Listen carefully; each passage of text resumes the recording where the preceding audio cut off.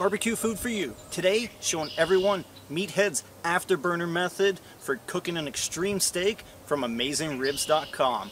Let's get started. What we're going to be using is a Weber charcoal chimney starter, filled up halfway with lump charcoal and just any grate off any type of grill. We placed a brick underneath to stop the moisture from getting sucked into the fire so it burns hot and fast. Let's get it lit. To get the chimney lit, we're going to be using one of these Weber starter cubes. So just get it lit. Put your chimney right on top and let it get fired up. When the charcoal's just about fired up, throw your grate on. What this is, is an aftermarket fire grate for a ceramic cooker. Took a Dremel and put a couple notches in here so it fits right in, nice and flush. Let this heat up, we'll get the steak on. To get the steak prepped, it's real easy. Start with some paper towels and pat it dry.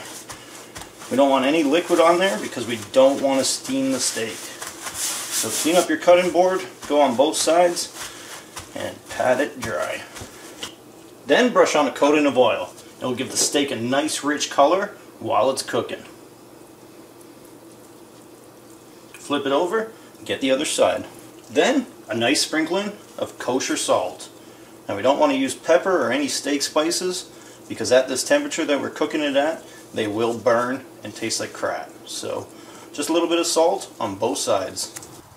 Let's get the steak on. Now we're only going to leave it for around a minute and a half on each side before flipping it. Two times for each side.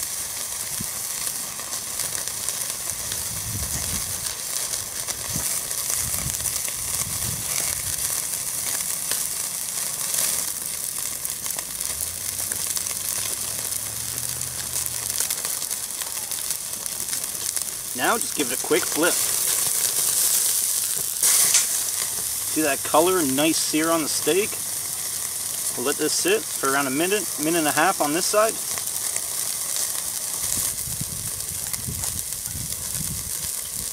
Give it another quick flip.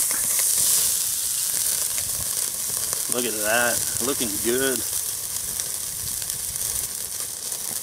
And one more quick flip this way.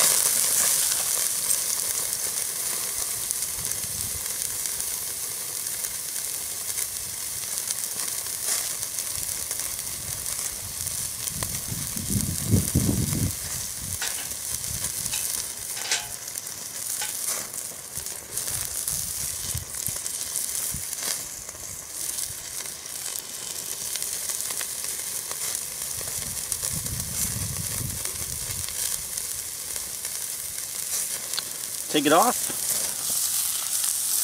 We'll let it rest for around two minutes before cutting into it. Let's cut it down the middle, see how it looks. Look at that, nice and pink in the middle. Cut a piece off.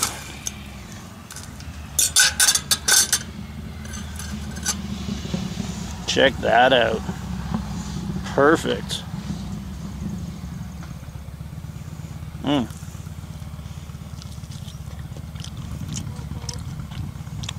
That's good.